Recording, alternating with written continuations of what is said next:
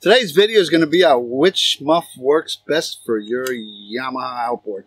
Um, when I first got this Yamaha, I uh, was using uh, one of these muffs. I won't tell you which one until later, of course. And um, I could barely get water to flow uh, through it. So I invested in a few different muffs. And what I hope to do was find out which muffs work best with these Yamaha outboards. I don't know if the new one's like that, but at least this mid-90s one uh, definitely has a very, very thin lower unit or skinny lower unit. Um, and um, here we go. These are the muffs I've tried, and let's see which one works best.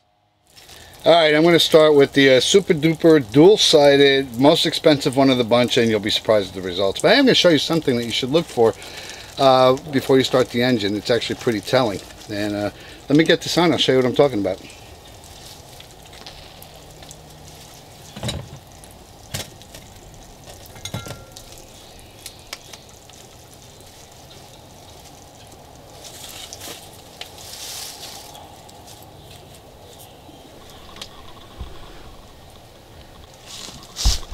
So I've got that one on and um, looks pretty good, right? It's got this uh, great two-sided hose, two-sided entry. I'm going to turn the water on.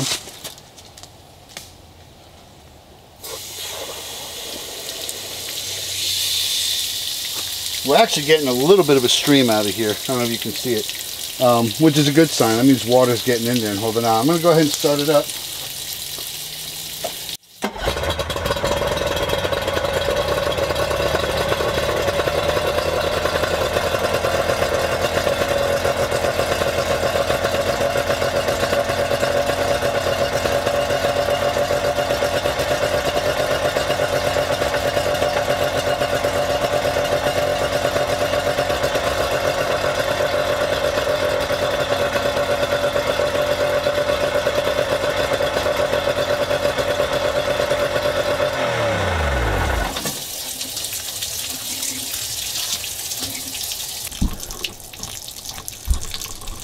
So that one did surprisingly good. I say surprisingly because in my experience in the past, um, this one hasn't done that well on Yamaha engines, but for whatever reason today, this one just wanted to outperform. So I'm actually quite impressed with this one. So let's uh, go on with the testing and see uh, and see how the other ones do. This one, like the first one, has the uh, rectangular muffs. Um, I've gotten a lot of use out of this one. I use it on um, all the old uh, Mercs and Johnsons that I've gone through. But let's give this one a shot. Let's put it on and see what we get.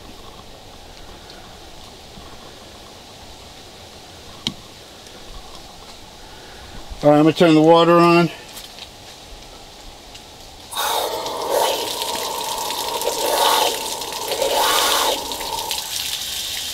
You really got to squeeze it before you get any water. So let's start it up and see what we get.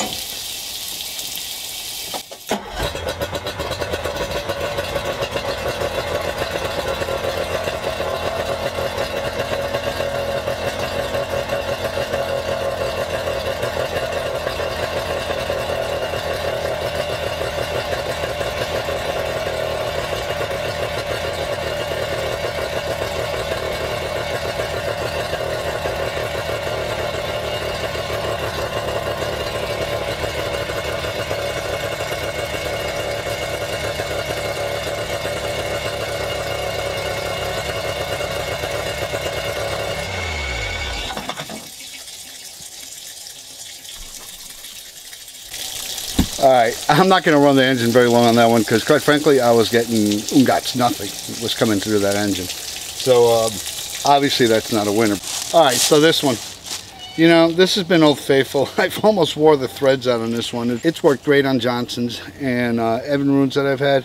Um, but as far as the Yamaha, don't even bother, man. This thing is not going to work on the Yamaha you're going to put your engine at risk. Sorry to whoever makes this, but uh, I, I, just I, I, can't trust it.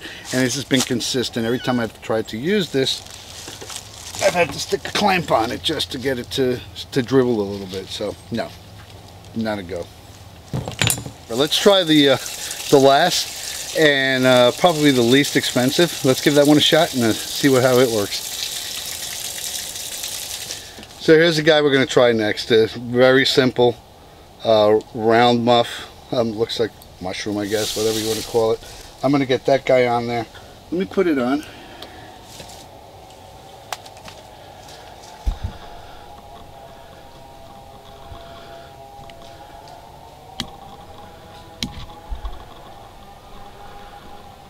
I'm going to turn it on.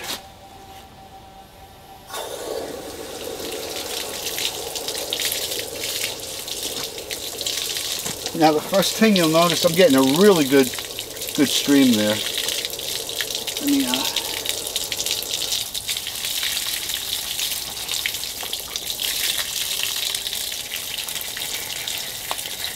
let's go ahead and start it.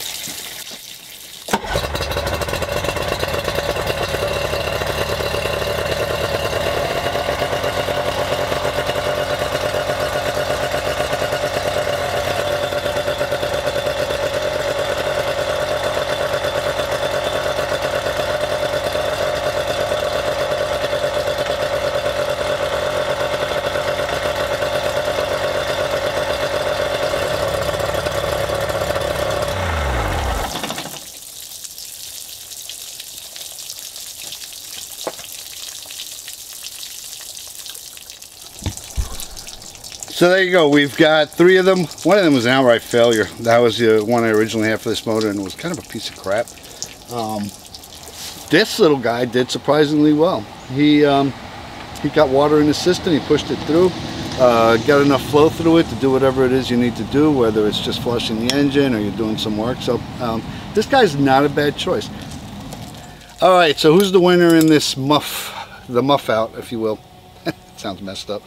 Um, well, we already know what this guy is, which is a no-go. Unless it's an emergency, uh, just toss that one. It's, that's crap. Uh, this one's a second runner-up, uh, which surprised me. I actually thought this one would do better in the, in the contest. Don't ask me why, based on some experience and what I've seen. Um, but it clearly did okay. You can use this one. But the clear winner was definitely this guy. And um, you know, I think in large part it's got this flexible hose so that when it sits on the uh, lower unit, um, it could just hang there. Uh, one of the problems I have with these types is when you get the hose in, it tends to twist it and uh, let water out, but that's not really an issue with this one. So um, I gotta say this guy's the clear winner. Definitely a clear winner. This guy's the runner-up. So I hope this helps because I know when I first got a Yamaha outboard, it was a mystery as to why I couldn't get water to flow through it, and uh, mostly it's because I was using that rectangular one. And um, after playing around with a few different muffs, I found out which ones work best uh, which one works almost best but not quite and um, I was able to get over that problem. Anyway, I hope this video has been helpful to you. If it has, hit like, share, and um, don't forget to subscribe and hit the bell button. Thanks for watching.